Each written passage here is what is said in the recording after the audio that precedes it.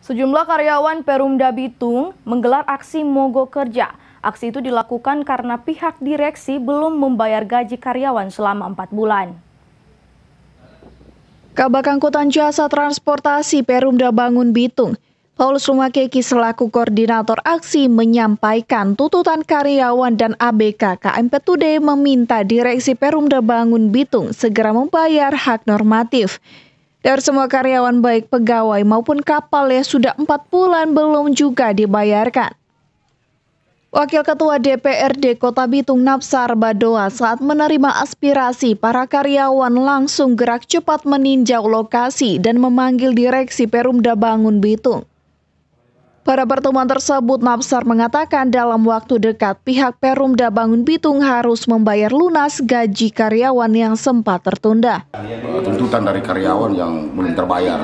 Dan kami telah mendengar apa yang disampaikan oleh Direktur bahwa memang ada masalah internal di mana mereka eh, terbeban dengan hutang sebelum mereka pegang ini.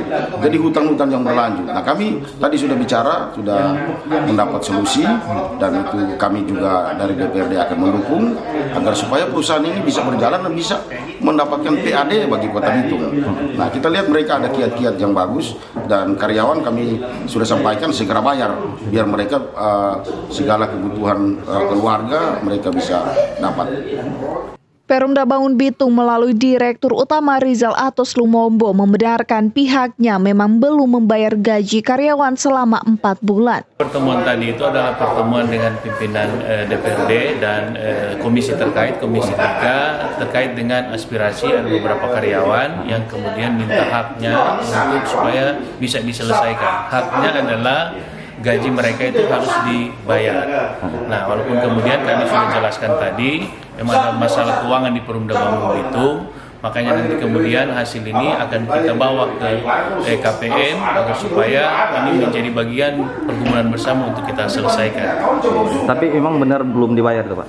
Jadi memang eh, empat bulan itu memang belum dibayar karena kondisi keuangan kita itu memang belum mencukupi. Diketahui sebanyak 35 karyawan belum menerima upah selama 4 bulan kerja. Sementara itu total uang yang harus disediakan pihak Perumda Bangun Bitung sebesar 500 juta rupiah. Dari Bitung Tim Liputan Kawanua TV melaporkan.